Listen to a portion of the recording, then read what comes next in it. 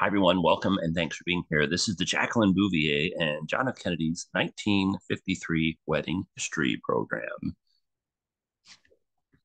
This is a series of programs we're having over the next few months to remember the 60th anniversary of the death of President Kennedy. Uh, President Kennedy was killed in Dallas, Texas on November 22nd, 1963. So we have a whole series of programs coming up to remember President Kennedy. And these programs will be taking place uh, over Zoom, live stream type programs like this. And then also we have in person programs that will be taking place in both Washington, D.C. and Dallas, Texas. You can be on the lookout for those. My name is Robert Kelleman. I'll, I'll be your host. A little bit about myself. I'm originally from Detroit, Michigan. I was a art history major in college at the University of Michigan. Uh, I spent many, many years living in Southern California and Washington, D.C. And let's see, and I currently live in Dallas, Texas. Uh, that's a little bit about myself. And we have our fabulous co host joining us once again this evening, the pride of Portsmouth, New Hampshire, Patty.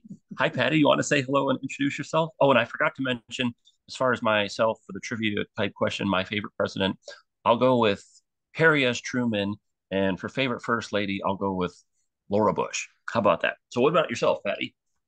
Uh, yeah, I'm, I'm uh, checking in from Portsmouth, New Hampshire. Uh, Truman's a good choice, but I don't know, especially when things seem like they're kind of tumultuous around uh, this country. I, I always go back to Abraham Lincoln because it's like inspiring that somebody can hold it together. So gives me hope.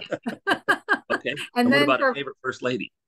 First lady, there's so many that are accomplished in so many different ways, but I, am going to go back with my original inspiration is uh, Eliz- uh, Elizabeth Eleanor Roosevelt. Okay, well that's cool. And then um, what about thank you, Patty, for joining us um, once again this evening. You were with us earlier. So um, we had the earlier program. Any particular thing you found most, um, say, interesting or striking about the Kennedy's wedding, or anything you kind of recommend people be on the lookout for? Um. Yeah. I, I, again, it, it it it uh, I don't know how much um, understanding people have of, of Catholic weddings, but um, there there's a reason. It's actually kind of amazing that there are two pictures that seem to have been taken inside the church during the wedding because um, the church does not allow uh, photography during the mass. Um, so that's one thing, and um, just I just think it's interesting. All the spectators there looking at the style of dress, uh, flashing back to the 50s, noticing how many of the women um, who are just coming to gawk um, are wearing hats, um, which was very common at that time. And yeah, I have this tendency to to like sort of understand history in terms of cultural change. Um, and so those are the things I tend to draw attention to. And uh, one thing about this wedding, um, both the Kennedys in their way and the Bouviers in their way um, were considered um, like newly arrivé, and uh, so th- they were. There was a lot of celebrity value, and Joseph Kennedy, who, who had been a lot, very involved in a lot of areas, but was very media savvy and had owned Hollywood studios. Um, and was friends with William Randolph Hearst, of course, the publisher. Um, so he was very media savvy and he really um, stage managed the careers of his sons. That was his dream from the beginning to have a son that became a president. And initially, he was focused on uh, Joseph, his uh, namesake son, who died during World War II. So then Jack was the next oldest to um, to Joseph, and uh, the father's attentions got turned in that direction. So there's so much dynamic involved um, in the whole family saga. So there's a lot of hints of all that here, but it's not clearly spelled out. So I encourage people to check into it further if if they're intrigued by all this.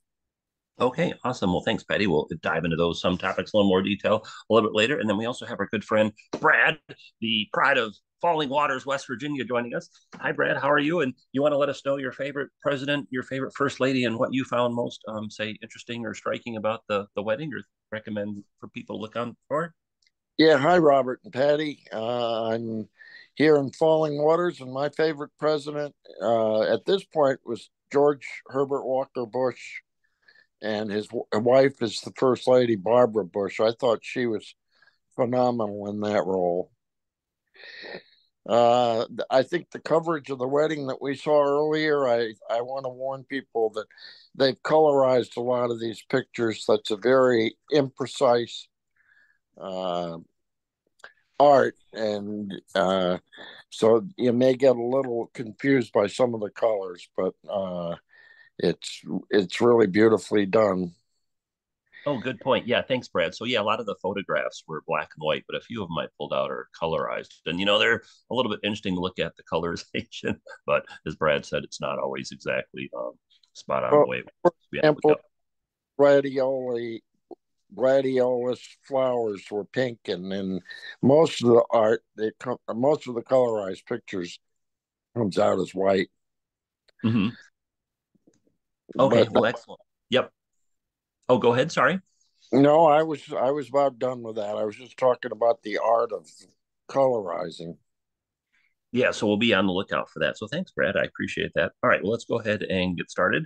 Uh, so we're going to be talking about, of course, John F. Kennedy and Jacqueline Bouvier Kennedy. Their wedding took place 70 years ago this week on September 12th, 1953. These are probably the two most famous photos of the wedding one at the ceremony and one at the reception. And as Brad mentioned, um, these were both originally black and white photos that have been colorized. And so it's kind of cool uh, to be able to see them in color, but the colorization uh, can be a little bit different than what actually was taking place.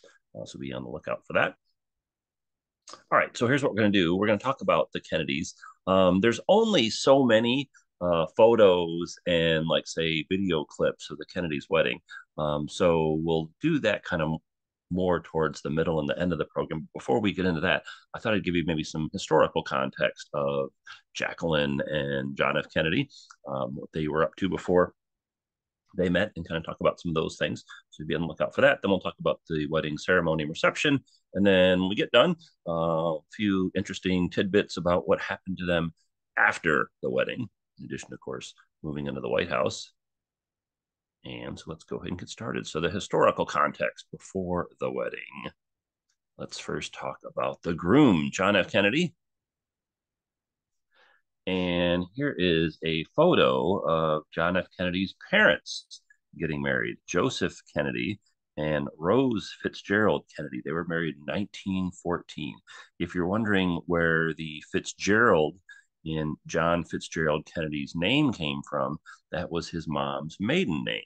And this was originally a black and white photo that uh, someone colorized. So I don't do this colorization work myself, uh, but I do think it's kind of fascinating. It does kind of make some of the pictures. I like both black and white and color photography, but I do like the color ones that look a little bit more lifelike.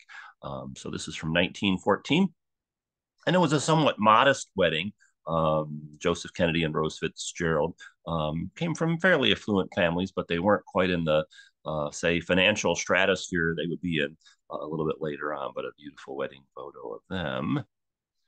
And then, of course, John F. Kennedy was born and raised in Boston, Massachusetts for the most part. And there's a lot of sites related to John F. Kennedy in and around Boston that you can go check out, including one of the homes that he lived in. And I always think it's interesting to look at these childhood photos of people before they became famous. So here's John F. Kennedy as a young man. And then, of course, the Kennedy family is one of the more well known, if not the most well known, political family in American history. Um, so Joe and Rose had nine children. And can you recognize John F. Kennedy in this photo? Well, he's over here, second from the left. And then here's Robert Kennedy, second from the right, and Ted Kennedy here in the center. And then I'm not crazy about my high school yearbook photo, but hey, here's John F. Kennedy's high school yearbook photo. Uh, he did spend some time in New York the family kind of went back and forth between Boston and New York and a few other places. Um, so you can see young man, age 17, five foot 11, 155 pounds. And see he was involved in all different types of uh, athletic things like football and basketball and golfing and et cetera, et cetera. And he was going off to Harvard. And so John F. Kennedy went to and graduated from Harvard University. And there he is studying. Of course, he's studying wearing a suit. and then here's a photo from from a little bit later, same time frame. And hey, check out that really cool typewriter he's using. If you remember those. And the book, Why England Slept. Yeah, famous book that he That's wrote. His, yep, exactly. Good eye, Patty. Very awesome. and then here's his college graduation photo from Harvard. Now, a lot of people know that John F. Kennedy had an older brother, and there's a lot of people that don't know that he had an older brother. So this is John F. Kennedy on the right with his father in the center, and the older or the oldest uh, Kennedy son, Joseph Kennedy Jr. Um, now, you might not be familiar with him because he was killed during World War II. And so, as Patty mentioned earlier, uh, then it was John F. Kennedy was kind of like the next man up, so to speak, uh, and then he inherits the kind of political ambitions of his father uh, and continues on. But a lot of people always kind of speculated or wondered, gee, what would have happened if Joe Kennedy Jr. hadn't been killed during World War II? How things might have turned out differently. Anyway, a nice touching photo of the father and his two oldest sons. And then John F. Kennedy during World War II was in the Navy. So he, uh, John F. Kennedy graduated from Harvard shortly before the United States got involved in World War II. Uh, he enlisted in the Navy and was sent to the South Pacific and was famously involved in the PT 109 incident. So here's probably, this is one of the, I'd say maybe the most famous photos of John F. Kennedy as a young man. Here he is on the boat, the PT 109. And interestingly enough, not only is this month the 70th anniversary of President Kennedy's wedding, and later on in November it'll be the 60th anniversary of his death, it's also the 80th anniversary of the PT 109 sinking. Uh, so 1943, uh, John F. Kennedy and the PT 109 uh, was sunk in 1953. He was married in 1963. He was killed. So interesting numbers or years ending in the number three and the significance to John F. Kennedy. And if you get a chance, you should check out the PT 109 film starring Cliff Robertson as John F. Kennedy. And then there's also a really cool National Geographic documentary, The Search for Kennedy's PT 109. I recommend both of those. And then here's a really cool early media coverage of John F. Kennedy when he was running for Congress. So uh, Kennedy gets out of the Navy, World War II ends in 1945, and then he ends up running for a seat in the House of Representatives in 1946, and he ends up winning.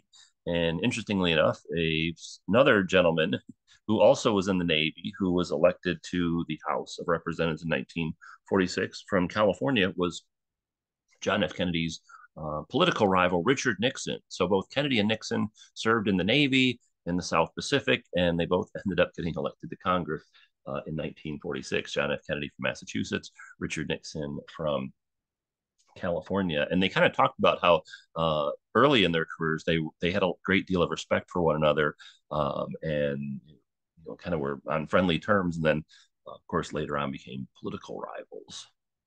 But an interesting media piece on John F. Kennedy nonetheless. And then here he is campaigning.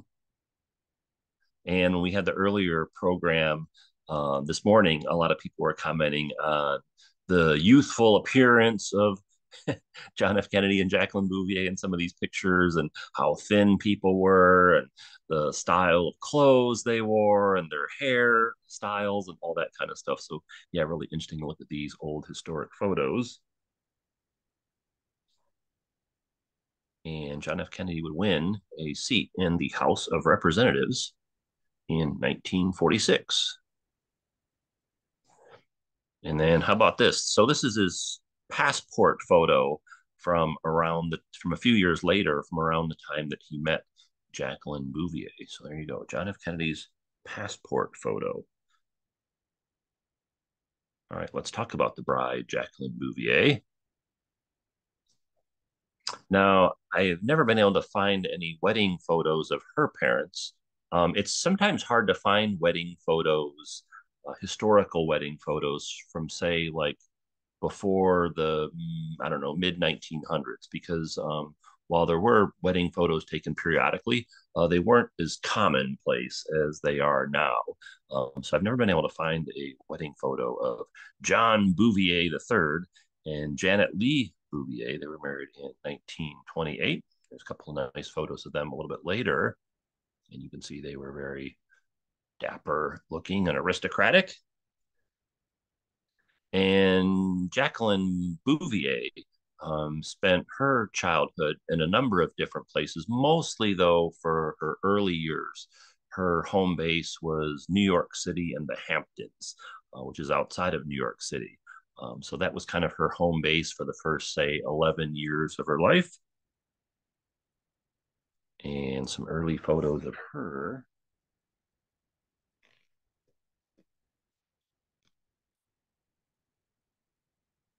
She was a big animal lover, of course. And horses. Jacqueline Kennedy later on would describe her childhood as horses and books were the two constants in her early childhood.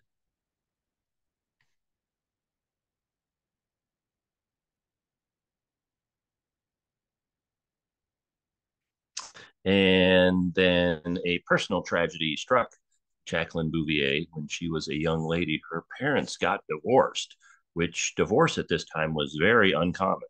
Um, and Jackie was really distraught by this, although it did have somewhat of a silver lining to her parents' divorce because her mom, and this is Jackie's mom here. This is Jacqueline Bouvier back here. Her mom remarried, and this is her stepfather. And the reason why it has a silver lining is because Jackie's life goes from being centered around New York City um, and the Hamptons to being centered around Washington, D.C. And that's important because Jackie would end up going to uh, college in Washington, D.C. She'd end up getting a job there, and that's where she would end up meeting John F. Kennedy. So I kind of always wonder, like, gee, I wonder if her parents would have got divorced. Uh, maybe she would have stayed in New York City uh, her life, and she wouldn't have met John F. Kennedy. Perhaps, of course, speculation. And this is a photo of again Jacqueline Bouvier's mom, um, her new husband, her Jackie's stepfather, and then the extended family. Uh, her mom and stepfather had a few children amongst themselves. And then this is the home that Jackie was living in from the time she was around 11 or so until she ended up marrying John F. Kennedy.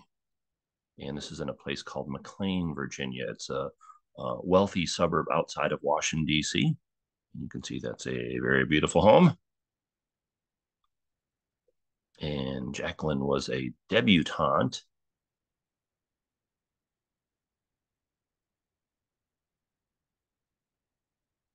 And then here's her high school yearbook photo. Jacqueline Lee Bouvier from McLean, Virginia, also known as Jackie. And you can see most known for her wit. And then this is interesting ambition, not to be a housewife. Um, which that, that seemed like a big deal now, but uh, back in this era, in say 1947, um, majority of women were housewives at some point in time during their lives. Um, so kind of interesting that she has different uh, intentions, so to speak, and she's also wearing the pearls, uh, which is one of the things that she would become known for as first lady. So interesting high school yearbook photo, Jackie. Oops, hold on one second. And then even though her parents got divorced and Jacqueline stayed with her mom, oh, hold on one second. What's going on here? Hold on. Let me. Okay, thanks for your patience. All right, so here is Jacqueline Bouvier and her sister Lee. Of course, Jackie's on the left.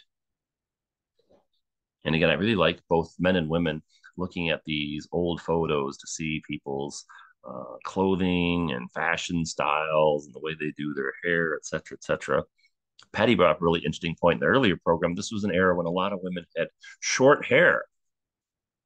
Patty, what's the story on that?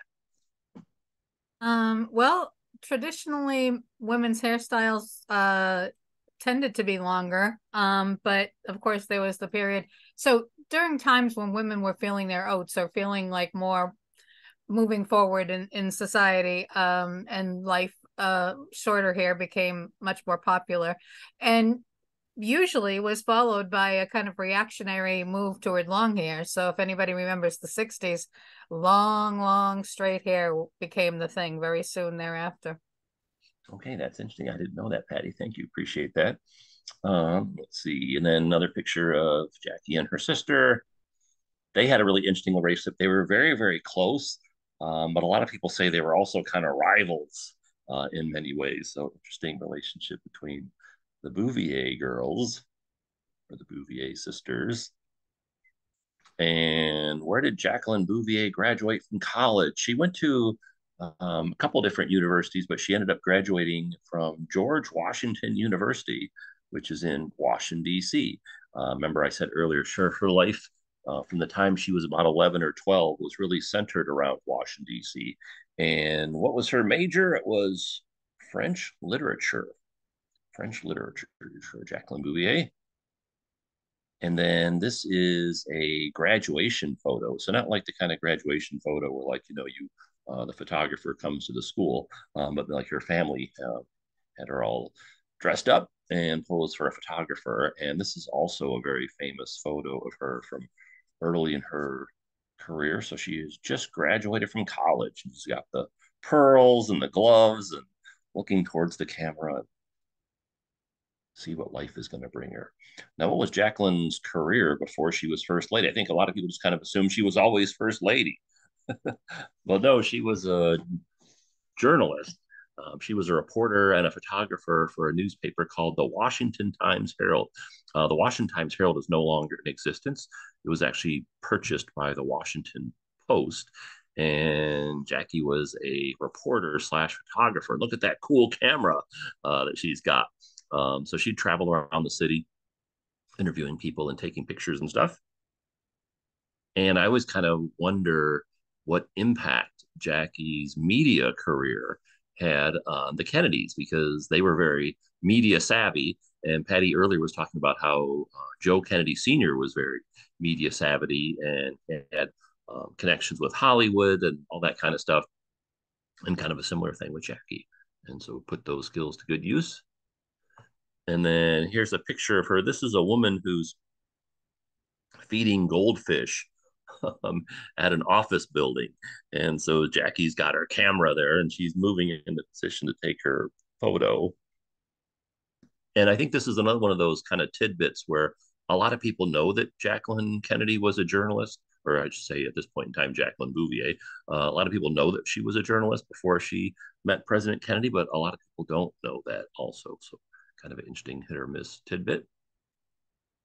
And then here's her passport photo from around the time that she met John F. Kennedy. Uh, one of the things that was interesting about them that they had in common, they had both traveled extensively. So now that might not be a big deal if someone from the United States goes to, say, Europe or Asia. But in the early 1950s, that was not the case. So John F. Kennedy had been overseas in the Pacific. Um, he had traveled to Europe several times and had been to Asia. Um, Jackie had traveled extensively as well. She actually spent uh, one of her um, college years in Paris. So the fact that they had kind of this international travel uh, experience was something that was kind of unusual for people uh, of their generation. And so that was something that they clicked on. All right, so I'm recording this program for our YouTube channel, but it includes a few video snippets, and I can't continue the recording with the video snippet. So what I'm going to do is I'm going to pause the recording and then I'm going to play the video. And then once the video is over, I'll.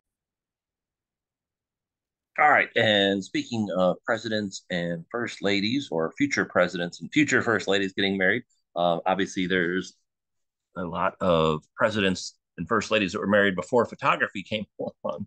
And so here's a depiction of what George and Martha Washington's wedding was like back in the day.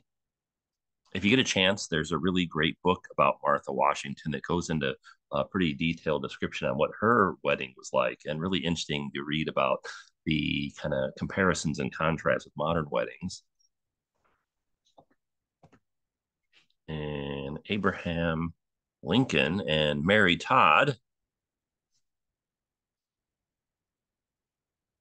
Grover and Frances Cleveland. Grover and Frances Cleveland actually married at the White House. Uh, Grover Cleveland was a bachelor president, and he married Frances Cleveland in the White House. And then Herbert and Lou Hoover. Some of the presidents and first ladies that were married uh, in their earlier days, there's not great photographs of uh, just because, like I said earlier, wedding photography didn't really become a big thing um, until, like, say, I don't know, the mid 1900s. I mean, there are wedding photos that exist of people that were married before then, of course, um, but not as many. Uh, the, the whole wedding photography thing really kind of escalates uh, in, say, the mid 1900s, in my opinion. All right. How and where did Jacqueline Bouvier and John F. Kennedy meet? Hmm. What do you think? Were they fixed up on a blind date? Did they meet on Tinder? Were they next door neighbors? What do you think? Well, they met at a Georgetown dinner party. Georgetown is a neighborhood within Washington, D.C. And John F. Kennedy and Jacqueline Bouvier met at a dinner party in Georgetown in May of 1951. The dinner party was hosted by this gentleman, Charles Bartlett. He was friends with both of them uh, he actually also knew John F. Kennedy's father, Joe. And Charles Bartlett and Jacqueline Bouvier um, had actually gone on a date. He was a journalist himself. Uh, he ended up crossing paths with Jackie. They got to know one another. He asked her out, and they went on a date, and they got along pretty well. Um, they just both realized it wasn't a, say, quote unquote, love connection. Uh, but they stayed in touch. And then Charles Bartlett ended up marrying another young lady. Um, and then he and his new wife had a dinner party at their house and they invited a few different people over and two of the people they invited this particular evening were john f kennedy and jacqueline bouvier and the dinner party took place in may of 1951 at this house 3419 q street northwest so if you're familiar with washington d.c this is in the Georgetown neighborhood, and the house isn't open to the public, uh, but it's really cool. It's owned by a guy who's a big Kennedy buff, um, and then there's a plaque outside signifying the fact that this is the house where the two of them met, and really kind of incredible to think like, gee, how would history have turned out differently had these two not met uh, at the dinner party at this house? And here it is. And then the evening festivities uh, began with uh, drinks and hors d'oeuvres um, outside in the backyard. So this is the back of the house. And so if you can imagine having drinks and hors d'oeuvres and chatting amongst the guests taking place here. And then people moved to the inside of the house and they enjoyed a nice dinner. And we had kind of an interesting discussion on this earlier. So the the main course for dinner this evening, what would you eat at a dinner party like this? Well, in 1951, it was chicken casserole. How about that? Chicken casserole was the uh, main course, and and supposedly, according to the guests, John F. Kennedy was in heavy flirting mode uh, with Jacqueline Bouvier. She was much more demure, though. She was actually in a relationship with someone at this time, um, and she was friendly enough, but um, she wasn't kind of um, um, giving him back the flirtatious intentions that he was while they're eating their chicken casserole. And then eventually the guests all reconvened in the living room for a game of charades. So chicken casserole and charades was taking place in this house when John F. Kennedy met Jacqueline Bouvier way back in 1951. And then he uh, tried to make a move on her by offering to either walk her home or to perhaps share a cab together to take her home. And she was like, uh, no, I have my own car, thank you, and jumped in her car and took off. And so off she went. And they actually ended up, um, this was two years before they got married. And so they didn't like immediately start dating right away, but they did stay in touch with one another. Uh, and then eventually they did go out and things kind of progressed from there. And John F. Kennedy supposedly told friends of his about Jackie. He said, quote, I've never met anyone like her. Hmm. Um, now, now, when she started to get to know John F. Kennedy, um, she was thinking that he was a lot smarter uh, than the other guys that she had dated. I'm kind of paraphrasing uh, some quotes and letters that she um, wrote, but she basically said a lot of the other guys she dated were dumb, and she was really attracted to the fact that he was really smart. Um, and I think some people don't um, maybe underestimate John F. Kennedy's intellect. He's kind of known sometimes as kind of being like you know a pretty boy kind of guy, but he's very intelligent.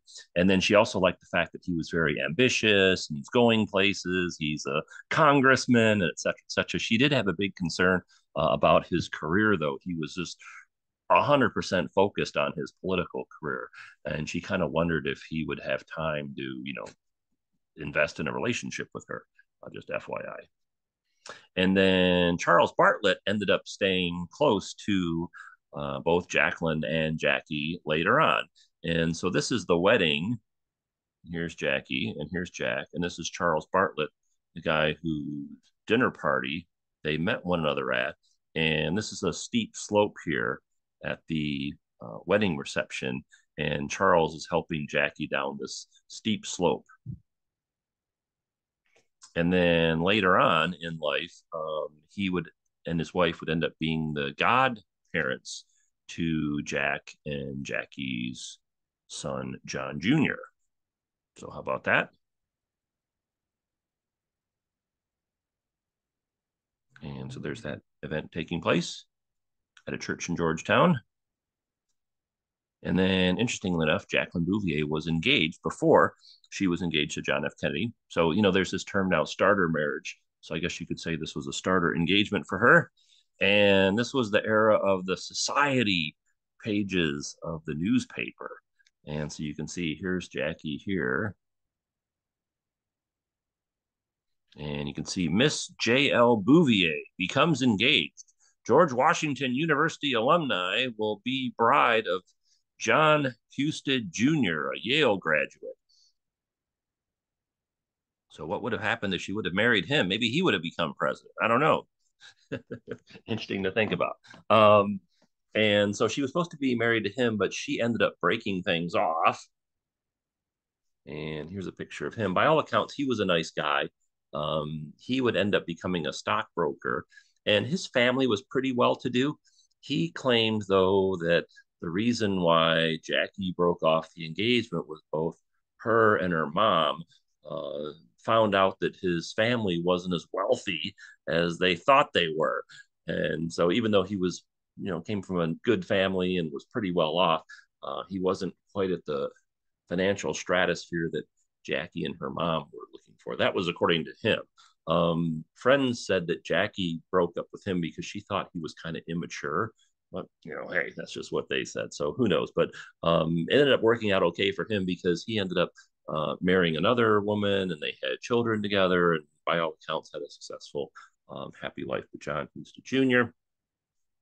He kind of is like the Pete Best of of uh, political figures. You know who Pete Best is, the original drummer of the Beatles.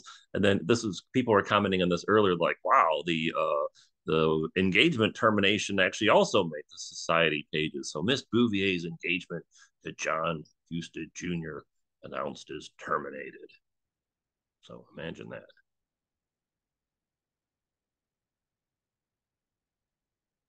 And then in a romantic relationship, there's this big turning point where one person meets the other person's family. You know, things are really starting to get serious when that happens. Um, and so, again, it's two years in between the time where Jackie and Jack meet and they end up getting married. And so, for a while, they were just kind of, um, uh, there wasn't really much going on. And then eventually, uh, John F. Kennedy uh, and Jackie start dating, and things get serious pretty quickly. And then he invites her up to Massachusetts to meet his family. And so that's what ends up taking place. This is in Hyannisport, which is the Kennedy compound, even to this day. And so here's New York City over here. And here's Boston up here. And here's where that's taking place.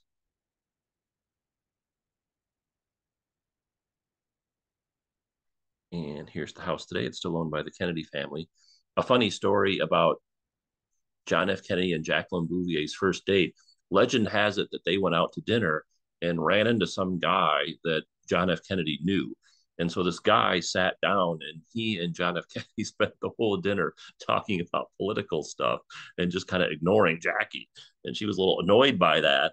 Uh, and so he kind of had to smooth things over with her to get a second date and things kind of progressed from there. So yeah, he almost blew it um, on the first date that he had with her.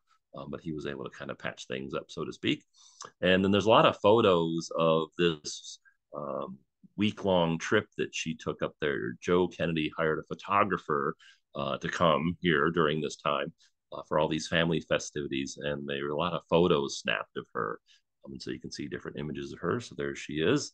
And by all accounts, the Kennedys were really impressed with her. It was kind of almost seemed like a job interview, uh, her going up there.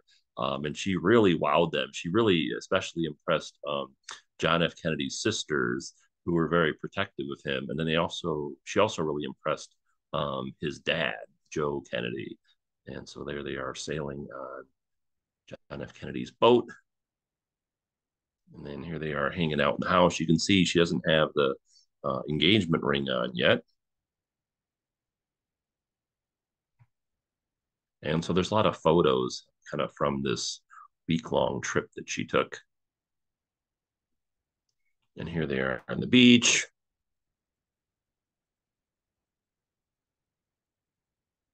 I think at this point he's telling her about the PT 109. And then at this point, I think he's asking her if she's ever thought about living in the White House. no, I'm just kidding. Here's a colorized version of the same photo.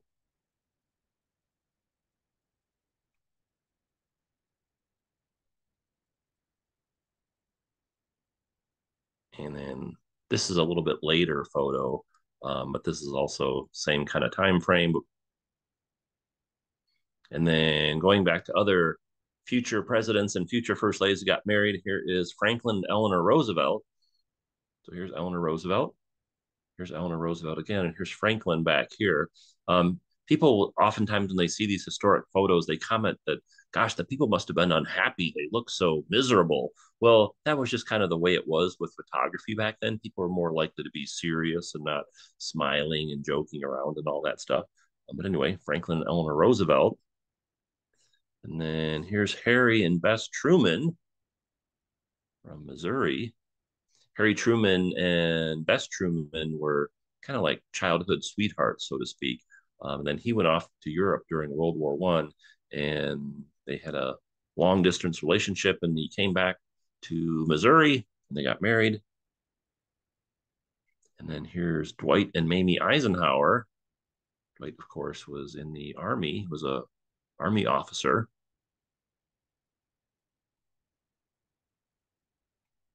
And Lyndon and Lady Bird Johnson, if you're familiar with Texas, um, Lyndon and Lady Bird met at the Texas state capitol in Austin and they had their first date at a restaurant at the Driscoll Hotel, which is like the most famous hotel in the city of Austin. It's like a very historic um, place. So they had their first date uh, at a restaurant in the Driscoll Hotel in Austin, Texas, Lyndon and Ladybird.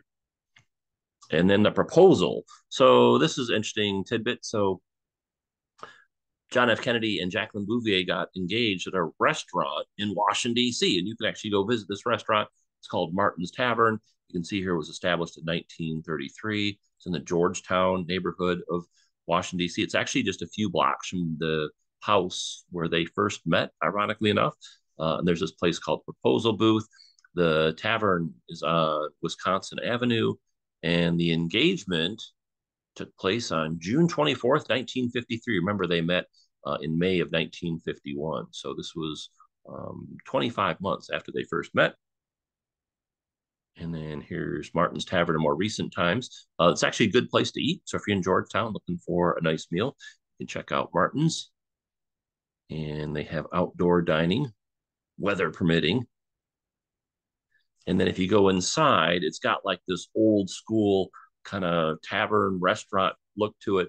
And this is actually the booth that John F. Kennedy and Jacqueline Bouvier were sitting in when he proposed. And there's a little plaque here that signifies that that's where this event took place. Then, of course, you got this nice view here of Georgetown. And then here is the plaque, the proposal booth, where JFK proposed to Jackie. And she said yes and then another view of the booth. So if you ever want to go check this out, um, you can. Now, this restaurant's not very big, and Georgetown can be kind of a busy place. So, I mean, if you just show up here and you're hoping to sit at this booth, mm, it may happen, or or there may already be someone sitting in there. You just have to see how it goes. But anyway, kind of cool they have this nonetheless. And then this is a uh, placard outside in the window talking about the proposal booth. JFK and Jackie frequently dine in booth three at Martin's Tavern, as he lived only two blocks from the tavern. He used to, before he met her, he used to like to go here after church um, on Sundays and read the paper. Um, and then, having just returned from covering the coronation of Queen Elizabeth II for the Washington Times Herald, remember Jackie was a reporter, uh, Miss Jacqueline Lee Bouvier accepted Senator John Kennedy's proposal in booth 3 on June 24th, 1953. And then this government official actually witnessed this taking place. And years later, he provided his recollection of this event. He said, I was in Martin's Tavern sitting at the bar having a drink. I'm sure it was a martini. it was the cocktail hour. Senator John F. Kennedy and Jacqueline Bouvier were sitting in the booth by the window. I recognized them both. After the senator proposed and she accepted, the news ran through the restaurant after the senator proposed. Oh, uh, um, and then that night we didn't know his future and what it would bring. In hindsight, it was great fun to witness a part of history. So again, imagine how different history would have turned out uh, had they not met at that dinner party, or had she not accepted his proposal at Martin's Tavern. And then, if you want to see um, some of these places associated with the Kennedys in Georgetown, um, like those two sites, and then there's, um, let's see, three different homes that they lived in before they moved into the White House.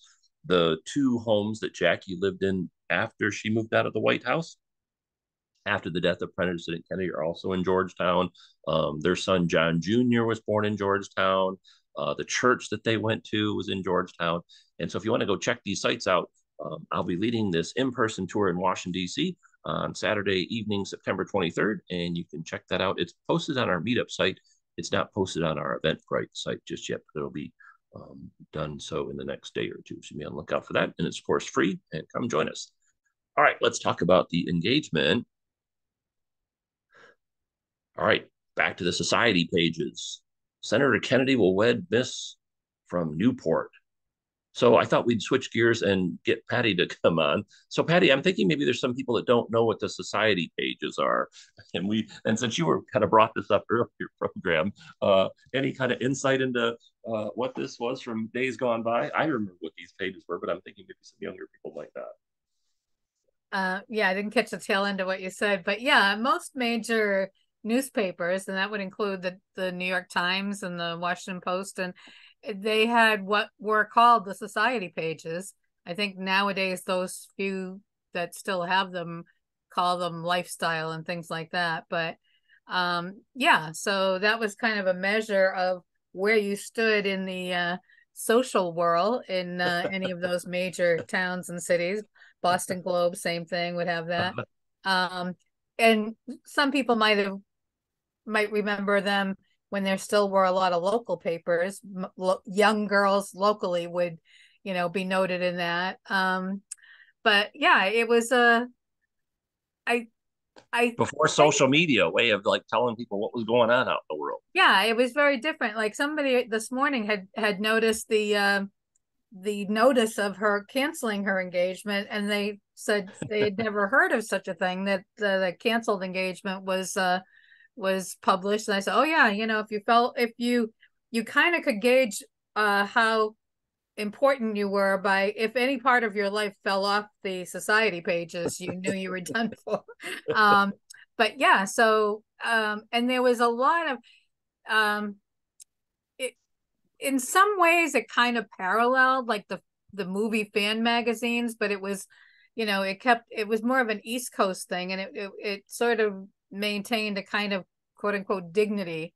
Um and oh things that like debutante balls would be published there. Everybody's name would be listed.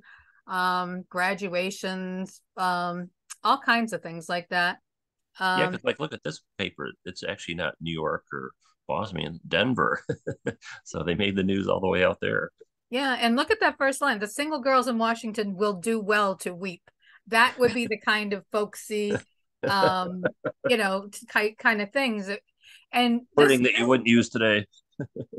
Eh, well, exactly. But yeah, this is kind of the beginnings of um, our um, fascination with these cults of personality. I think it would it was was endlessly fascinating to people who weren't living these kinds of lives, which would be the majority of Americans. But as the culture and, and media evolved, um, that became a, a, definite direction. This kind of, um, uh, you know, per, well, nowadays you would call people influencers. I mean, back in those days, you would never think, look at that picture and think, oh, yes, there she is, an influencer. But yeah, if you think about how our cults of personality evolved, this would be an early phase of it. Jackie, the early influencer. um, let's see. This is a cute photo. I think it's them getting their marriage license, and supposedly uh, a photographer was around and wanted to take the picture of the two of them getting their marriage license. But John F. Kennedy wasn't wearing a jacket or a tie, and he thought he would like to be a little bit more dressed up. So he actually borrowed some guy's uh, jacket and tie, according to legend, um, to fill out the uh, paperwork and then this guy's got a really interesting look on his face like yeah i've seen this before uh, and then she's kind of looking at make sure he doesn't screw it up. Yeah, he so, has an interesting expression on his face too. It's atypical yeah. of him. Yeah. i don't know if any of you've seen it. There's a really cute um, painting by norman rockwell called the marriage license. I should have pulled it up um, and put it alongside this one um, because it's kind of a similar type of approach. But anyway uh, that's the two of them filling out the marriage license actually that that outfit is so atypical of him that it reminds me of the um, Obama tan suit scandal. uh-huh. Yeah. Well, you can see like it looks like the. Uh, it's kind of hanging off of him. Yeah. Yeah, yeah. Maybe that's not the perfect fit, but hey, it's all good. Um, and then anyway, to go back to some wedding images of future presidents and first ladies. So I used to live in Southern California, and a great historic place is the Mission Inn in Riverside, California and that's where Richard and Pat Nixon were married. Um, I think this photo was actually taken after their wedding. I think they're actually holding like their marriage license, and I think they're getting ready to go on their honeymoon. Um, so that was Southern California. And Patty was commenting earlier about how um, the whole look and feel of this photo is very uh, West Coast, where a lot of these other images we've been looking at have been more East Coast. And of course, uh, Richard Nixon and John F. Kennedy, uh, arch political rivals in the same era. And then here's Gerald Ford and Betty Ford from my home state of Michigan. We had another interesting discussion earlier this morning about how um, Betty Ford was actually married before and was divorced. Um, and Betty Ford, one of my favorite first ladies, if you read her autobiography, she talked about how Gerald Ford didn't care that she had been married and divorced, but his political team was really concerned about that. So they did everything that they could to keep that under wraps because uh, they thought that would be really controversial. Um, so really kind of interesting how women's um, kind of roles and place in the world have changed since then, fortunately. And then how about Jimmy and Rosalynn Carter? I remember um, a while back, maybe like a year or two ago, we posted this picture on our Facebook page, or these two pictures on our Facebook page. And there's a lot of people that didn't recognize them first. I was like, "Hey, who do you think this famous couple is?" like, no, I don't know. Who is it? the Carters. Oh yeah, yeah. Now I see. Anyway, Jim Lynn Rosen Carter. He also was in the Navy. And Ronald and Nancy Reagan, also from California. So it is kind of interesting to go back and look at these historic photos of future presidents and future first ladies. All right. So the wedding took place 70 years ago this week on September 12th, 1953. And here is the wedding invitation. How would you have liked to got one of these in your mailbox? Um, so you can see this is invitation going out from Jacqueline's mom and her stepfather requesting the honor of your presence, uh, the marriage of their daughter to the Honorable John Fitzgerald Kennedy. By this point in time, he had been elected to the Senate, and the wedding's taking place Saturday, the 12th of September at 11 o'clock at St. Mary's Church on Spring Street in Newport, Rhode Island. And then this is a contemporary painting of what Jackie would have looked like on her wedding day. So, yeah, imagine getting this in your mailbox. That would be pretty cool.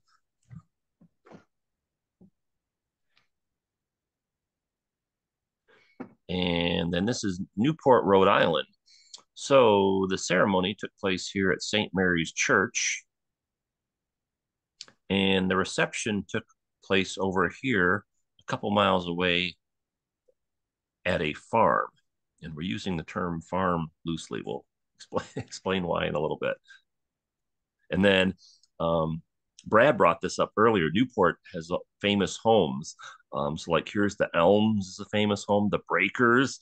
Um, so, all through this area, a lot of wealthy individuals lived here throughout history. And if you're wondering where Newport, Rhode Island is, right here, not to be confused with Portsmouth, New Hampshire, which is not too too far away. Patty, how far is Portsmouth from Newport? Oh, mile. I, I would say a couple of hours. A couple of hours. Portsmouth not on this map. Again, nowadays there's so much traffic all the time. It's like probably more like close to the three hours, but. Mm-hmm. So yeah, Massachusetts, Rhode Island, Connecticut, New Hampshire, Vermont, Maine, great states of New England. Yeah, all, right. all of New England is about the size of some of the western states, believe it or not. oh yeah. All right, St. Mary's Church. Um, so let's talk about the wedding ceremony. It was at St. Mary's Church, and the flowers were pink gladioli and white chrysanthemums. There were 800 guests that were invited to the wedding ceremony. Who was the best man? It was the president's younger brother, Robert Kennedy. And there were 13 additional ushers. The matron of honor was Jacqueline's sister, Lee. And there were also 10 bridesmaids, additional bridesmaids. And the bridesmaids' dresses were pink silk. There you have it. And then uh, some people asked about this in the earlier program, so I thought I'd put a slide together kind of talk about this. So uh, on the day of the wedding, John F. Kennedy was age 36 and Jacqueline was 24. I think some people don't realize the age difference um, between the two of them. Anyway, that's the story with them. And they were married uh, a little over 10 years. So the wedding took place September 12th, 1953. And unfortunately, President Kennedy was killed on November 22nd, 1963. So they had actually just celebrated their 10 year wedding anniversary a couple months before he was killed. So imagine that. And then you can also see that um, John F. Kennedy was killed in 1963, um, and Jackie continued on for another 31 years. And here's the outside of the church. It's a beautiful historic church in Newport, Rhode Island. Here's a historical marker out front. Church was founded in 1828. then it says President John F. Kennedy and Jacqueline Lee Bouvier were married here on September 12, 1953. The future Mr. and Mrs. Kennedy had both attended this church um, in days prior to their marriage. Uh, so they were both familiar with this church. And I thought it'd be a nice romantic setting for the wedding ceremony. And here's the inside of the church. It's very beautiful. If you get a chance, um, stop by and check it out someday. Or if you're looking for a venue to get married in, beautiful stained glass.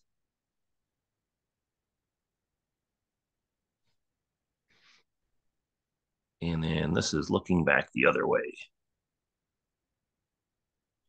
And so you can see the bride will be coming through this door here and down the aisle. All right, let's talk about the ceremony itself. Here is the groom arriving.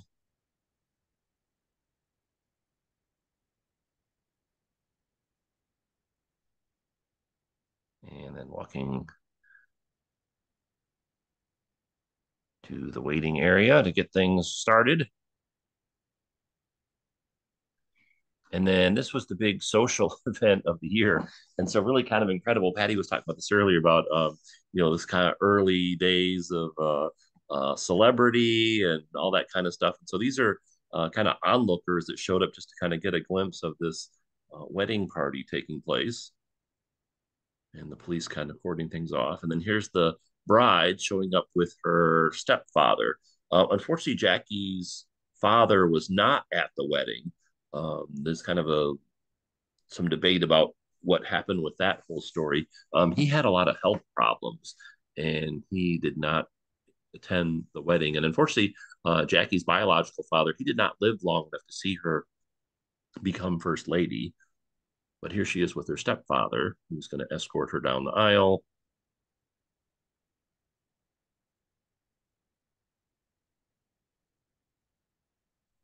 And so we're going back in time to September 12th, 1953, and the beautiful bride. And going into the church.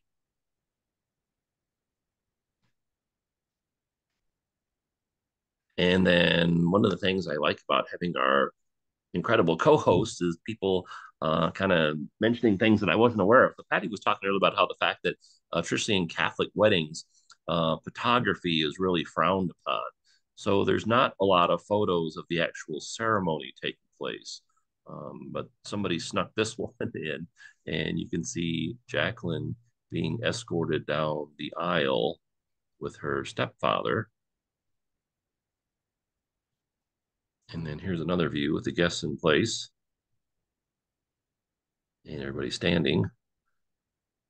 Somebody this morning, Robert, was saying that they had read that, uh, which this is, I think, totally apocryphal, that her father was actually waiting in the third row. And when she approached the third row, he got up and escorted her the rest of the way. Absolutely untrue. yeah, I did. I did that. I had heard that before. So um, amazing how these things get started, isn't it? oh yeah, yeah. Um, but anyway, there's a ceremony, and then here's a beautiful picture. Look at the sunlight shining in through the windows as they're taking their vows. And so again, I wish I had more pictures of the actual ceremony, uh, but that apparently is frowned upon um, traditionally, and so not many pictures of the actual ceremony. So it's nice that we have at least these three I have a feeling there might have been a substantial donation involved in getting because it really is. It's, it's, I was actually wondering about that myself. it is a forbidden thing. It's a it's the mass is a sacrament and the marriage is a sacrament, so it, mm-hmm. it's just not allowed in the Catholic Church. I don't know. Like mm-hmm. I said, I'm I'm sure something special was arranged. yeah. This this one looks like it actually could be surreptitious. So, yeah. You know. Oh, yeah. No, great point, Brad. Yeah, it could very well be. Well, actually, kind of the other two kind of look semi that way. Like if you go back to this one, um, you know, it doesn't have that yeah, from the balcony, right? Like locked in place, and then, um, you know, like for this one, even someone just probably pulled out their iPhone and snapped this really quickly. Right? No, no, no, just kidding. but that's that's obviously from the choir loft. Yeah, so you know, that was probably the deal. I, I'm sure that, like I said, I'm sure some money was involved, and I'm sure they prearranged which specific place, hidden places that this could happen. Yeah, in the in the flower pot mm-hmm. in between things sticking out. How much you want to bet the the florist was in on arranging that one? we need a pot right here. Yeah, and then here they are walking out of the church. So, like I said, I wish I had a dozen more photos of the actual ceremony to show you, but these are the only ones that are actually um, seen that are any good. And then again, this is um, there's probably like two famous photos of the Kennedy wedding. This one and then another one later one that I'll show, um, which where they're at the actual reception. But this is a black and white photo, and then different people have colorized it. Um, so Brad was talking before about how the coloring may be off a little bit um, on some of these, but it's still interesting nonetheless to look at and kind of get more of a lifelike. View. You can see Jack there with his pinstripe pants and you know very dark in the background and then kind of a close up and so there you have it the young couple. And just again kind of incredible to think how history would have turned out differently if these two not gotten married 70 years ago this week. And then some photos from outside. So outside photography okay. Look at all this mass of people. If you're trying to see where what's going on here, here's John F. Kennedy and Jacqueline Bouvier right here with the mass of people.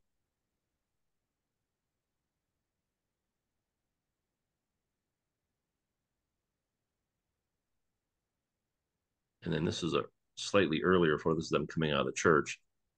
look at Jackie. She's got like the, oh my God, look at all these people look on her face and the policeman keeping people at bay.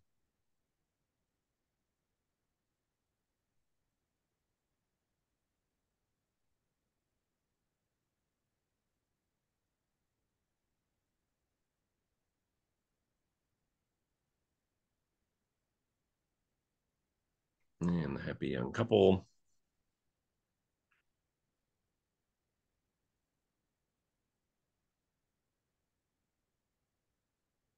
And so this, of course, would be a little bit more than seven years before John F. Kennedy won the election in November of 1960, become president.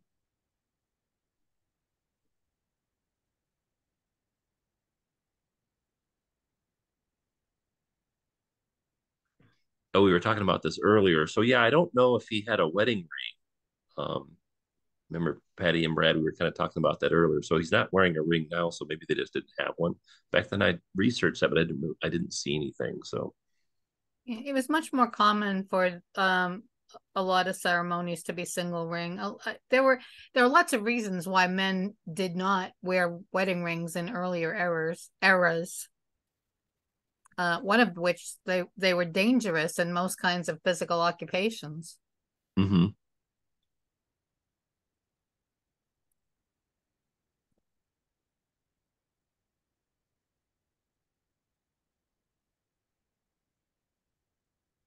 We'll talk about her dress a little bit later and her ring a little bit later. I've been noticing in a lot of these different pictures, the the dress looks very different, which is very interesting. I mean, it doesn't, you know, you don't, it doesn't look this like the same picture, uh, shot after shot. It's very interesting. Yeah. Okay. Um. So let me do another video here, but hold on one second. I pause the recording. Okay, everybody wants to know about Jackie's dress, so let's talk about that. The dress worn by Jacqueline Bouvier for her wedding to John F. Kennedy in 1953 is one of the best remembered bridal gowns of all time. I mean, think about it. What are the most uh, famous wedding dresses? I guess I'd maybe think um, uh, Princess Diana's, maybe, um, or some others out there. Jackie turned to Ann Lowe, the trailblazing American designer, to create her ivory silk taffeta wedding dress, which included a portrait neckline and a bouffant skirt made with more than 50 yards of fabric. Meanwhile, she opted to wear her grandmother's heirloom rose point lace veil, held in place by clusters of orange blossoms, and carried a bouquet of pink and white spray orchids and gardenias.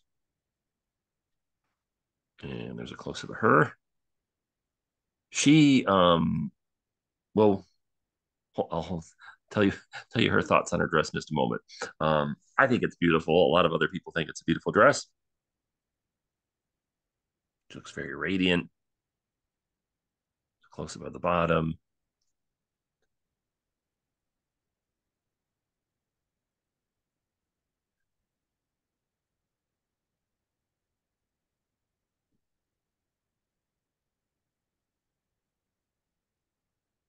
And then the designer of the dress was Ann Lowe, um, a artist who's really kind of being uh, almost like rediscovered uh, in recent years. That people go back and study her career. Ann Lowe, and here she is.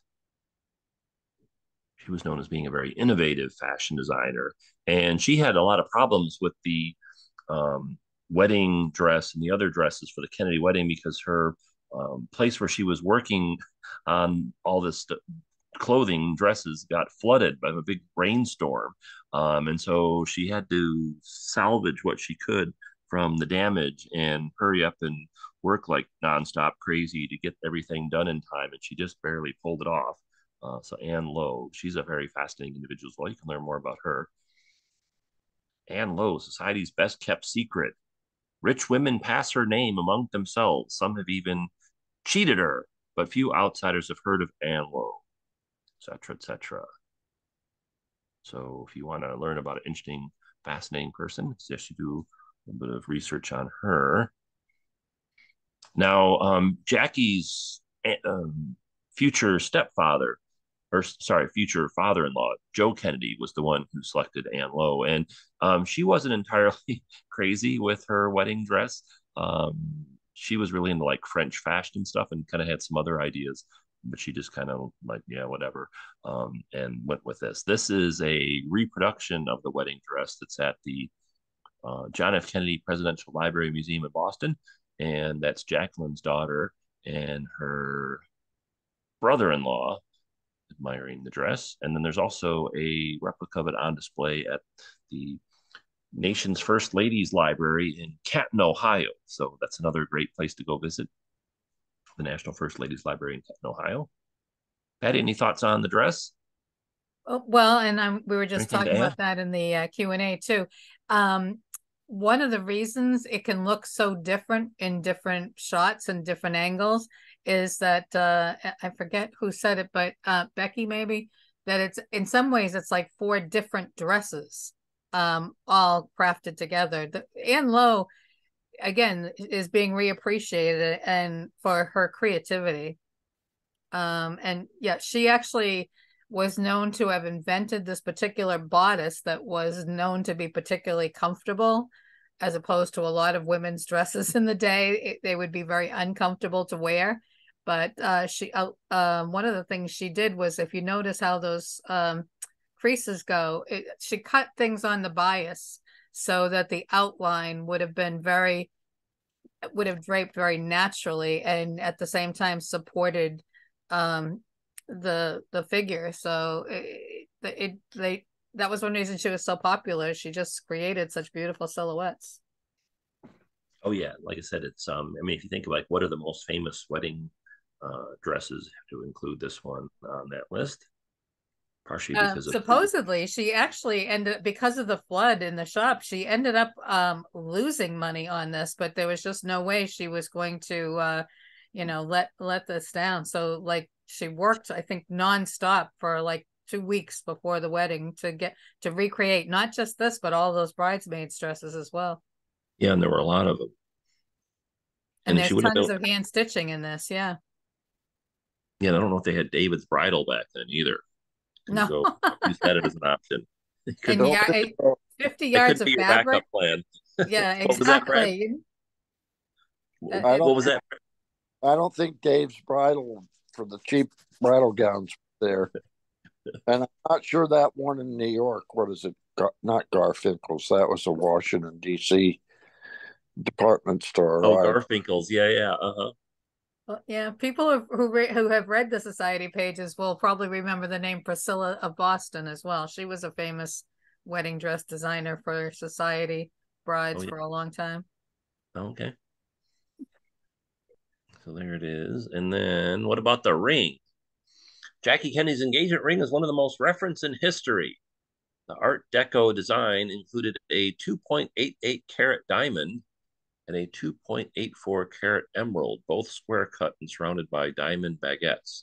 In 1962, the then First Lady had the ring altered, incorporating round and marquee diamonds as well. So initially, would have been these two pieces.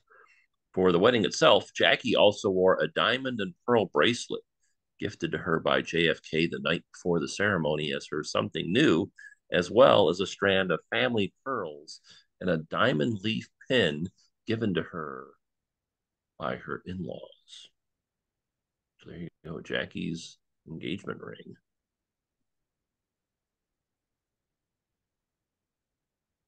And another ring. All right, then some more historical wedding photos. This is George and Barbara Bush. So young looking. yeah, all these people so young looking.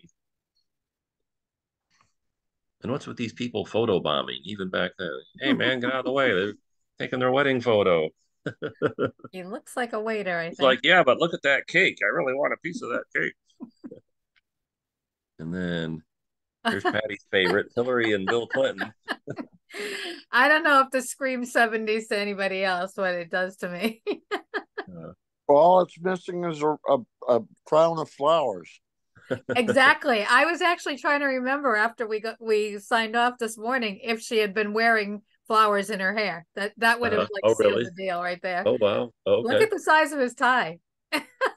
yeah. Oh yeah. On the pinstripe suit the hair. Yeah, I just love looking at the clothes and hairstyle and stuff of Ben and women just from days gone by. And then we were at the Bush Museum earlier today, and oh, George W. and Laura Bush's. they look like children. yeah. Oh yeah. Yeah. Yeah. I mean, honestly, I bet if I posted the picture just the two of them and asked people who it was that i mean after you know who it is you can see the resemblance when you first look like who is that She almost looks like Sally Field in that picture, Laura oh, Bush. Yeah, yeah. And then Barack and Michelle Obama. And then because we're a non-partisan, non-political organization, we haven't included any wedding photos after Obama because of the upcoming election and the two gentlemen that are running for president. So we'll skip Mr. Trump and Mr. Biden at this program. All right. So the Hammersmith farm, and using the term farm loosely, we were commenting on this earlier. So here's where the wedding reception took place the Hammersmith farm. Um, it's not a farm with pigs and chickens and cows. It's more of a gentleman farm. Remember, it's we're in Newport, Rhode Island, and it was a 300 acre estate. There were over a thousand guests, and the menu was featuring main courses of creamed chicken, fruit salad in pineapple halves, and a five tier wedding cake. And this is probably the other famous photo um, of John F. Kennedy and Jacqueline Bouvier on their wedding day. This also was a colorized photo, FYI. And the farm, the Hammersmith farm, was owned by Jacqueline Bouvier's stepfather. So he um, and his family, um, after he married Jacqueline Bouvier's mom, they kind of spent their summers, for the most part, in Newport, Rhode Island, um, and the rest of the year in Washington, D.C. And then here is the farm, so to speak, the main house. And then you can see the water out here. And here's another view. So this is the house here. And you can see the water on one side and the water on the other side. And there you go. So this is the summer house of the family and a great location to have a wedding. Um, this house still stands, although it's I think it's owned by a nonprofit organization now. Yeah, I think it's on uh, the Newport tours and again, they call it a farm, but you're not going to see guys in overalls and tractors and cows and chickens and pigs and stuff like that. That's But there are horses. What's that, Patty? that was a society affectation, I think, calling these summer houses farms. Yeah. When you go on the other road and you see those big, huge palaces that they call cottages, you know, it's all in the same. Yeah. Cottages and farms in this area. Most, Just uh, loaded with them. and estates. And so again, these are some more. These these aren't photos of the wedding. Obviously, these are more contemporary or modern photos. Just so you can get a feel of the place. All right, so a lot of the pictures that I've been showing you up until now, and a lot of the ones I'm going to show you later, uh, were taken by a very important photographer. So uh, when Joe Kennedy, John F. Kennedy's dad, was hiring a photographer, he just didn't get any random person. Uh, he went and got the best money could buy, and he ended up um, hiring Toni Frissell as the photographer. And while she might not be a household name, she's a really important figure in the history of 20th century photography. And so let's look at some of her work. And so this is a famous photo you might have seen of Frida Kahlo. And then this is one of the most famous photos taken of World War II. This is during the London Blitz. Um, and this young boy's home was destroyed. Um, and he's kind of sitting here, kind of taking everything all in. And she took both of these photos. And then later on, uh, this is a famous fashion photograph that she took. And then this is another, this is also very famous fashion photograph. I'd um, suffice to say, maybe one of the most, another one of the most maybe famous photos taken in London. And so while you might not have heard of her, um, you've perhaps seen her photographic work before. And so she was the person who's taken a lot of these pictures that we've been looking at. And then she also took a lot of the ones that we're going to see uh, moving forward. And then this is a famous photo that she took of um, Jacqueline Kennedy after the wedding. So there's, you know, it's hard to say what the most famous photo of Jacqueline Kennedy is. Um, but if you had to make a list of, I don't know, the top 50 or the top 100 or whatever, uh, this one would probably be on the list. So this one was taken um, several years later after the wedding, but by the same photographer. And then let's talk about the reception because we're getting hungry and we want to be fed and have some wedding cake. Um, so, all right, so here is the bride, here is the groom, here is the mother of the groom, John F. Kennedy's mom, and the mother of the bride, Jacqueline Bouvier Kennedy's mom. And then here's the couple with Joe Kennedy.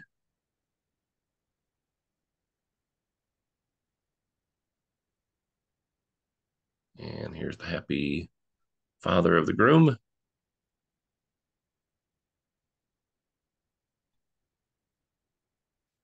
And then a bunch of outdoor pictures.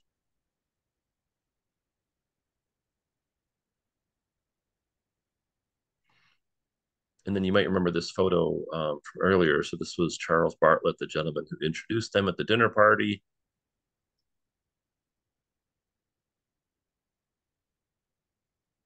Adjusting her hair.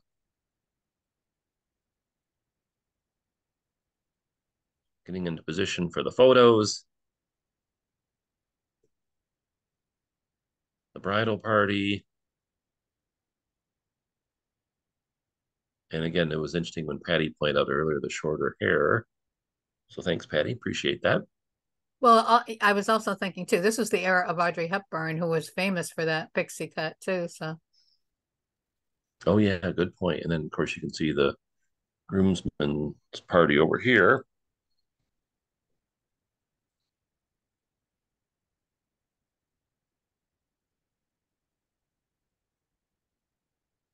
Boy, imagine having to recreate all of those dresses in two weeks. Yeah. really incredible.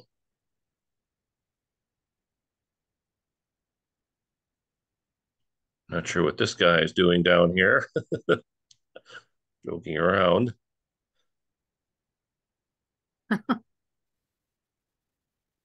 Now, somebody had asked about Ethel Kennedy. She is in this photo at the lower right. And then right in front of Jacqueline is um, uh, her sister Lee Radziwill. Yes, right here. And then this is Mrs. Robert Kennedy right here. And here's Robert Kennedy back here, the best man.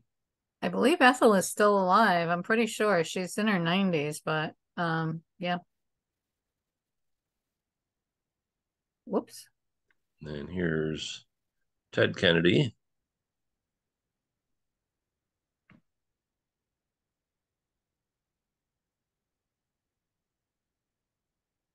Yeah, he was very young at this time.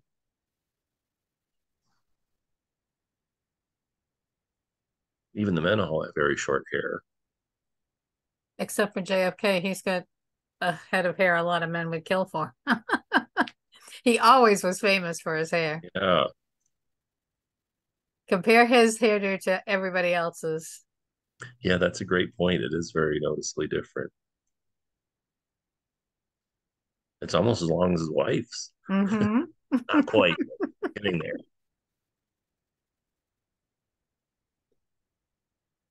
And then Jackie was a big animal lover.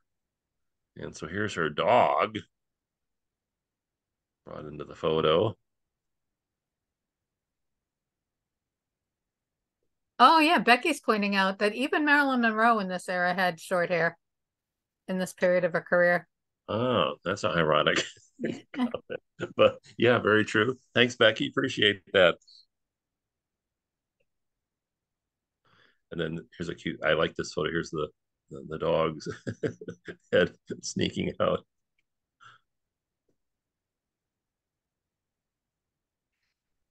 Everybody looking so happy. And then here's that famous photo again of taken on the farm. And a colorized version. We were talking about this also earlier. Notice how uh, Jack's noticed the camera, uh, but Jacqueline hasn't. She's staring directly at him, but he's observed that there's a, a camera in the distance or something in the distance. So interesting photo. She's looking at him, he's looking at us. And then I love how the wind is captured veil. And you can't see the cows, the pigs, and the chickens off in the distance or the tractor.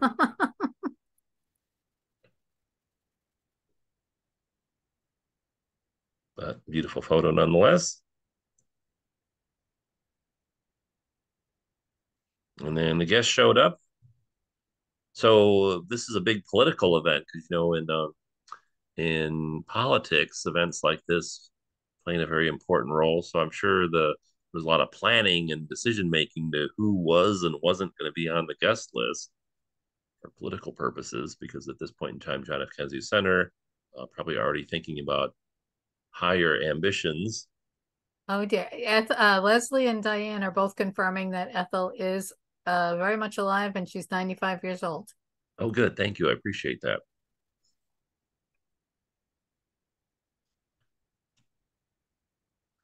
And okay, so it is a farm because here's some horses. but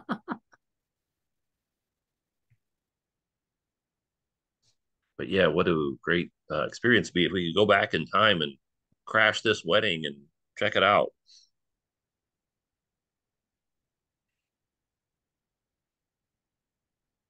Tents for the guests to keep the sun off.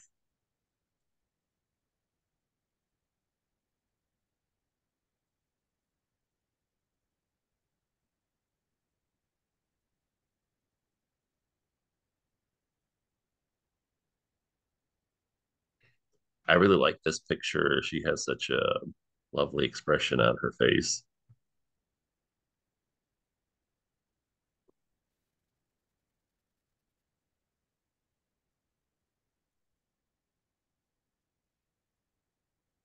And then, so another interesting tidbit we talked before about the menu, and one of the food items on the menu was half cut pineapples uh, with fruit salad. And while that might not seem like a big deal, uh, at this point in time, was this was the era where you couldn't get certain types of food um, all year round like you can now. Like I remember talking to my mom and grandma about how you know uh, back in the day, you could only get grapes a certain time of year, or you could only get oranges a certain time of year. Because yeah, they could ship stuff around the United States, but they didn't have airplanes shipping things in from all over the world like they do now. Uh, and pineapples would have been very expensive and very kind of even to this point in time exotic. Uh, and so to have you know hundreds and hundreds of pineapples uh, imported in uh, and then cut in half for the guests, that would have been very uh, very expensive.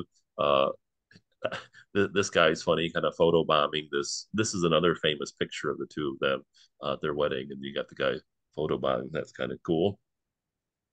And then it looks like John F. Kennedy's hungry. He's ready. To, he's ready to dive into that food. And uh, Jackie's like, "Hey, look at all the wedding stuff taking place." He's like, "Yeah, I want to eat."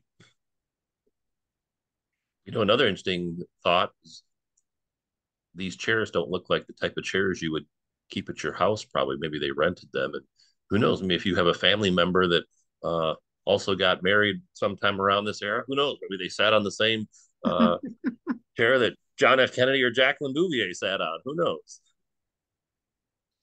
And then we had an interesting discussion. So there's over a thousand guests at the reception, um, and they would have had to cut the cake in paper thin slices to feed all those people with this cake. So of course there obviously would have been more than one cake. This was the main cake.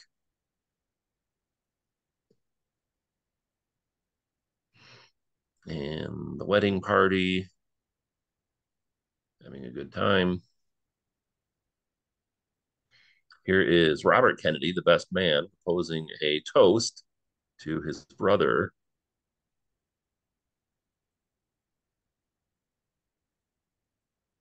And then the famous cutting of the cake. And Patty brought up a great point earlier about how um, the oh, I don't know, what would you call it? The the the symbolism behind this of the hands coming together um, and cutting the cake together. Uh, yeah, and it became a ritual photo. Actually, I mean, it, it, that photo is re- replicated in so many weddings. Oh yeah, yeah. I mean, like that's like one of the top photos you got to get is the cutting of the cake. But both with the hands on top of each other and uh-huh. all that. I wonder if her veil was her official something old. Well, I, I wonder when the cake thing started to become popular. What were you going to say, Brad? Uh, well, the, the, earlier on, I think we heard that the veil came from her grandmother. So that's I what I mean. I, I wonder if that was her official something old. Somebody had asked that question, like, what was her something blue and her something old? I'm not sure if I ever knew what the something blue is. Very often, um, they would sew like a piece of a swatch of blue fabric that meant something to the bride in into the hems or the seams of the dress. That was yeah. And I think the end of that little ditty is a half penny in your shoe. that would hurt like heck after a couple hours. Yeah, definitely. After some dancing. So here's the five tier cake, and then you can see here's the house in the background, and then these bushes and stuff. So nice setting for them. But see what see what we're talking about with the dress though, different angles that you're looking at it, no matter how you look at it, there's always a, a significant detail that you wouldn't have necessarily picked out in an earlier picture or a later uh-huh. picture. It's it's yeah, just like a, a, really beautifully created uh work of art. Yeah, it's like a sculpture. It is. And there they are having a good time. And then the famous throwing of the bouquet or tossing of the bouquet. Oh, and Leslie uh, let us know that Montillos made the cake. Oh yeah, oh, okay. Montillos, like she's got it spelled two different ways, so I don't hold me to the pronunciation, but some because somebody else had asked who made the cake, and I'm like, okay. oh, I'm gonna have to research that for next time.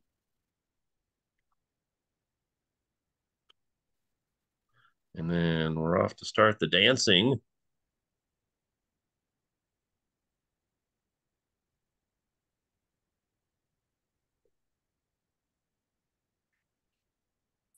So a real fairy tale wedding for the prince and the princess.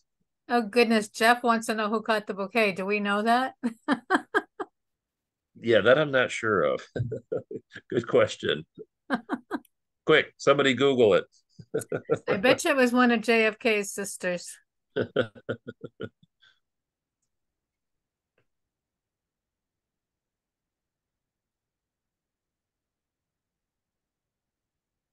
And then this one, this photo is out of order. I just included here because it was color. So again, just really incredible to think what it would be like to go in a time machine and travel back uh, to September 12th, 1953 and see this wedding.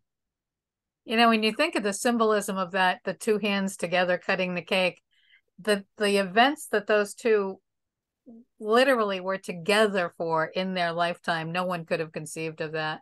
Even you know the the symbolism of of this photo of gesture, but yet nobody could possibly have conceived of what would what would lie ahead for them.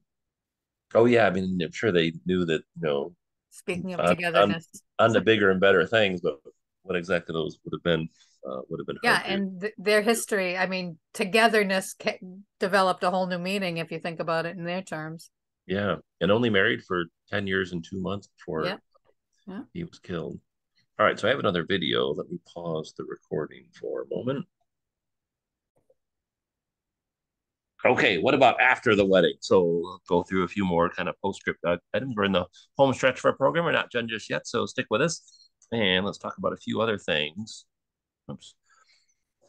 All right, so we were talking about the society pages, and there you go. Senator Kennedy marries heiress as police hold back sightseers.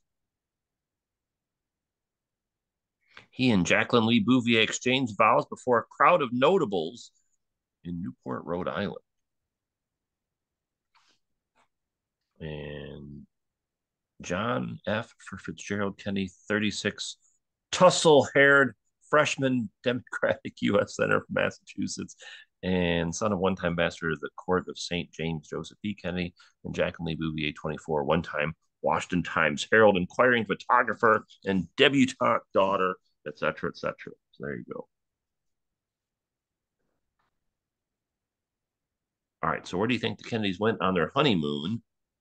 Do you think they went to Niagara Falls or Las Vegas or the Bahamas or they went on a carnival cruise or maybe they went to Paris? No, they went to Acapulco. They actually went to two different destinations.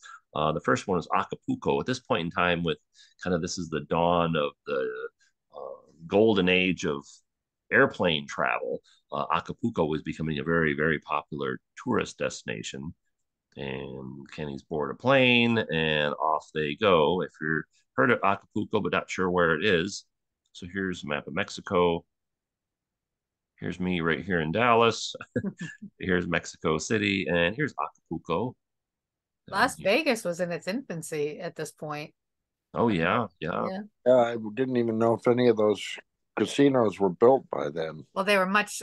I think wasn't Bugsy Siegel one of the first people that that uh, had a vision for developing this casino culture, but they yeah. much much smaller. Most of those original ones have been um, destroyed Re- and rebuilt and replaced. Yes, yeah, all replaced. And then this picture is a little bit after 1953, uh, but gives you a sense of what Acapulco looks like if you haven't been there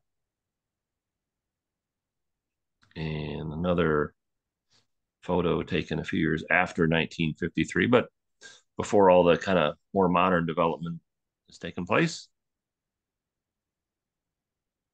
And so a nice, beautiful place for a honeymoon. Nice and clean. Look at how clean and white it all is, white and blue. Yeah, and the beautiful water. Yeah. There's no chain restaurants and all that stuff. Tourist trap things. And anyway, uh, getting back to the newlyweds, uh, some cute photos of them.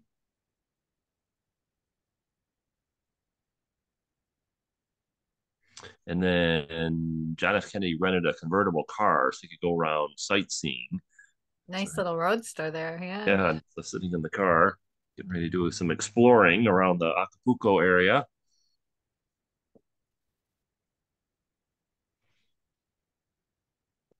They must be going on a day trip because it looks like they have maybe a, a picnic basket or something with them in the back seat. Oh yeah.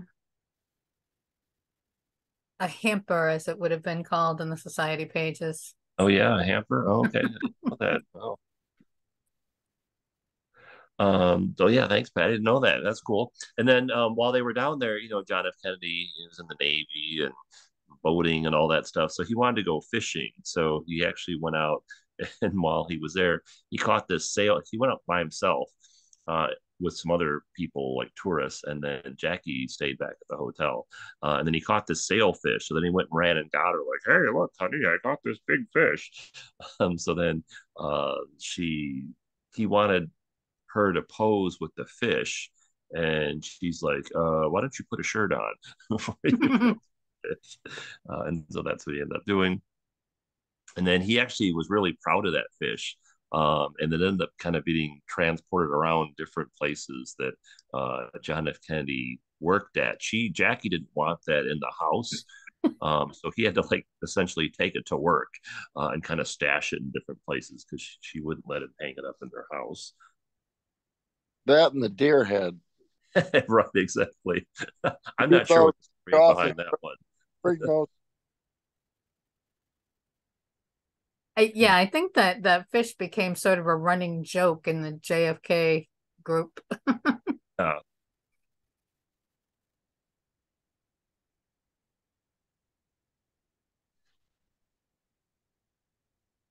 and yeah, guy looks so young and good looking and tan and happy and etc etc um, one of the things uh, remember jacqueline was a photographer and so she took a lot of pictures during her lifetime um, and so here she is with it looks like an instamatic camera she's got notice how much smaller it is versus that one that she had when she was a uh, news reporter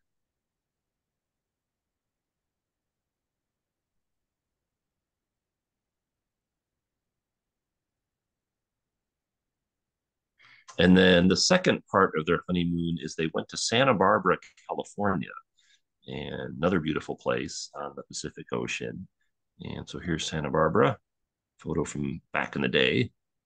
And if you heard of Santa Barbara, didn't know where that place is, uh, another quick geography lesson for you. So here's San Francisco up here. And then here's Los Angeles, where I lived for several years. And here's Santa Barbara. and Palm Springs, where uh, uh, with uh, Frank Sinatra had a house. Yeah, Palm Springs, another great place. Well, that yeah, part of that, like um, Frank Sinatra had wanted JFK to stay out there on some trip or other. I forget which one, and uh, by that time, um, the various consultants were trying to open some daylight between the Rat Pack and JFK. So mm-hmm. Sinatra was very miffed that uh, he, he, had done a lot of renovations, I think, anticipating this visit. And another photo of Santa Barbara. So if you get a chance, sure you check out beautiful Santa Barbara. And photo of them. I think this photo, they're going to like a dinner party um, in Santa Barbara.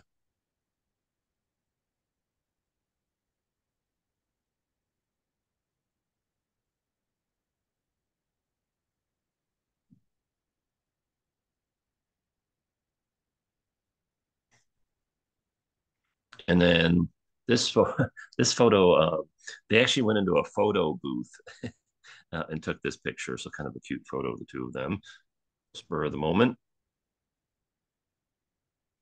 And then and the newlyweds went back to Washington, D.C. And they ended up moving into a house that was just like three blocks from the house where they met at. Remember, remember they met at this dinner party house. Um, they ended up moving into a house like three blocks away from there, and this is a cute photo of the two of them. Um, they're looking at their wedding photos, trying to you know do that, pick out which ones you like, type of thing. Your hair's even shorter in that picture. Oh yeah, yeah. Mm-hmm. And then this is a picture of them out in front of their newlywed house. Um, Jackie after the wedding, she went back to school. So she graduated from George Washington University, but she went to Georgetown University. Um, and she took a bunch of additional classes to kind of continue her education. So she's getting ready to go off to school, and then he's getting ready to go off to his job in the Senate. They're standing on the in front of their house, and you can actually see this house. We go see this um, on our tour. It's kind of uh, interesting to look at the house in current times. It looks very very similar. This is an interesting shot because she is dressed in such an iconic school, literal college co-ed outfit, uh-huh. and uh, I don't know how how staged that is because it, it is so atypical of her look at any other time in any other photo. Um, you know, but it, it's it, like a college co-ed appearance. Yeah, I think it is kind of a, a staged photo. I don't yeah, think it, it just is so different. The neighbor across the street just happened to be outside with his camera. That's what I mean. It's just so if you look at the next photo that you put up, it, it this the next photo is much more typical of her all the time look. Uh-huh. And and that that photo just is so not Jackie. yeah. So this is um the same house but in the back and they're on their balcony. Uh, they're kind of looking out uh, over their backyard. And so for this one, uh, a photographer from McCall's came and took a bunch of photos of them uh, for a story he was doing about the two of them. And so he took this photo. But I would I always think this is a really cool photo because they'll they're standing there kind of looking off into the distance and you know perhaps contemplating their future. But this is when um, you know they were they were still newlyweds at this point in time. One one of my favorites of the, of the photos you use is the one of them walking in Georgetown together, and he's wearing just these ordinary old old school Keds. Like oh yeah, yeah. Well, I love that picture because of that. Yeah. Yeah, we'll see that picture in just a moment. So, um, and then a lot of there's always a lot of um, talk and discussion about their marriage and you know his alleged infidelity and you know the relationship between the two of them. There's if you go look through, I mean, there's thousands and thousands of photos of the Kennedys. But if you look um, at the photos, and there's a lot of pictures of them uh, admiring one another, and so you can really get a sense of the love uh, between the two of them, in my opinion. Um, and so this is, I think, a very touching photo where they're out on a, a parade event. I think, like so many relationships, theirs was complex, but it did not. It did. It never appeared that it was unfulfilling. It, yeah, on, I mean, on a number yeah. of levels, you know. Oh yeah, I mean, who are we to judge if we weren't exactly reading about it after the fact? But this is a, um, when he was running for president, and then this is at the inauguration. So again, remember they got married in September of 1953, and then in November of 1960, he was elected president. And then, of course, that's the beginning of Camelot.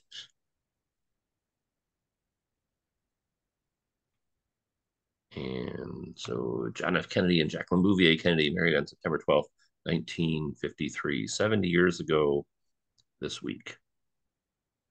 Um, and as I said earlier, so we have a whole series of programs taking place um, over the next few months because it's the 60th anniversary of the death of President Kennedy. So, in honor of him uh, and his legacy and his contributions to uh, our country and the world, uh, we have a series of programs coming between now and November live stream programs over Zoom, uh, some in-person things taking place in Washington D.C., uh, and then some in-person things also taking place here in Dallas, Texas.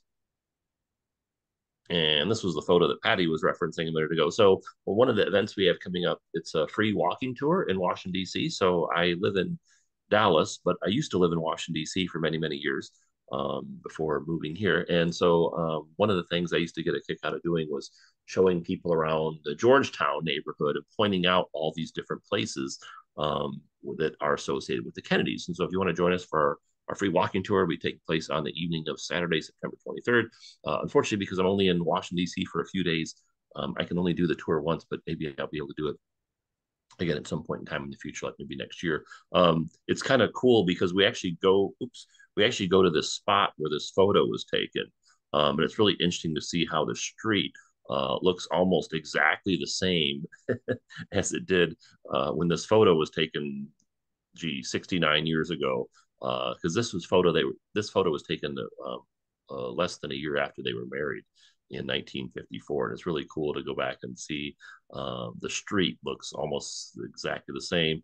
Uh, and then yeah, his um, sneakers and the clothing and all that stuff. So really cute photo of the two of them. Anything and, else um, on this photo stand out for you, Patty? You well, Phyllis just pointed out that the that these this style of pant was called pedal pushers, and it was very iconic fashion in those days. Oh, really? Oh, I didn't know that. Yeah, oh, okay. Sort of come mid calf. Oh, okay. Well, that's cool. Well, thank you. Appreciate that. See. I always learn a lot doing these programs. And then, um, well, so we had a busy day today. Earlier today, we were at the George uh, W. Bush Presidential Center in Dallas. So we were learning all about George W. Bush, Laura Bush, and the 9 11 memorial. Um, we had a great turnout for that. If you missed us, um, we'll probably be going back to the Bush Museum at some point in time in the near future. So you can be on the lookout for that. If you want to join our in person events we have in the Dallas Fort Worth area, you can check us out, our Dallas, Texas History and Culture sister group. And you can find our events on Eventbrite, Facebook, Meetup, and YouTube. Um, and then this was a walk that we had a few months ago in the Bishop Arts District um, in Dallas. And here's me in the back with the pink shirt. So come check out. Nice crowd, Robert. Yeah. Well, thank you. Appreciate that. Um, and then, as I mentioned, so this program is being recorded. If you want to watch it again, if you joined us late, if you know anybody else that would be interested in learning all about the Kennedy's wedding, um, I won't be able to post it on our YouTube channel till tomorrow or Monday, though, um, but it'll be out there eventually. And the name of our YouTube channel is Washington, D.C. History and Culture. Now, if you're watching us live, sit tight because I have another short video to show you. Um, if you're watching a recording of this, this is the end of our program. But if you're watching this live, uh, just sit tight for a moment. And